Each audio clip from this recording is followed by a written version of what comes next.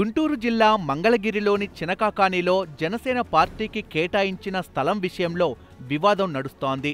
అయితే ఈ వివాదంపై జనసేన అధ్యక్షుడు పవన్ కళ్యాణ్ స్పందించారు. మంగళగిరి స్థలం నిజంగా వివాదాస్పదం అయితే లీజు రద్దు చేసుకుంటామని స్పష్టం చేశారు.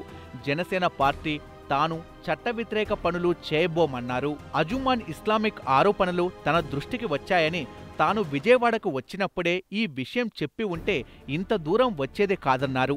అయితే ఒక రాజకీయ నేత సమక్షంలో మీడియాకు ఈ విషయం చెప్పడం అనుమానాలకు తావిస్తోందని అభిప్రాయం వ్యక్తం చేశారు పవన్. ఒకవేళ ఇది రాజకీయ కుట్రే అయితే తట్టుకుని నిలబడే శక్తి జనసేనకు ఉందని తెగేసి చెప్పారు. ఈ వివాదం విషయమై త్వరలో జనసేన నేతలు న్యాయ నిపుణులతో కలిసి కాకానికి వస్తారని తెలిపారు.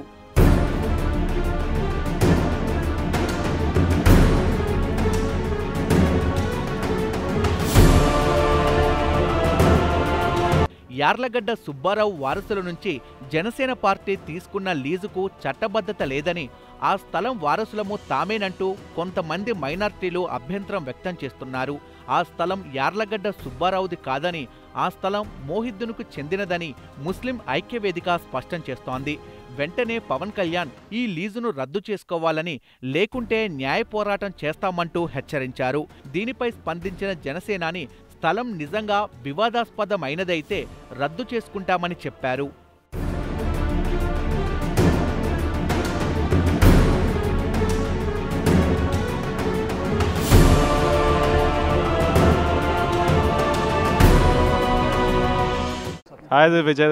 Please do subscribe to New Waves. ఇలాంటి మరిన్ని మంచి వీడియోలు కావాలని కోరుకుంటున్నారా అయితే పక్కనే ఉన్న గంట సింబల్ను క్లిక్ చేయండి అలాగే సబ్స్క్రైబ్ చేయండి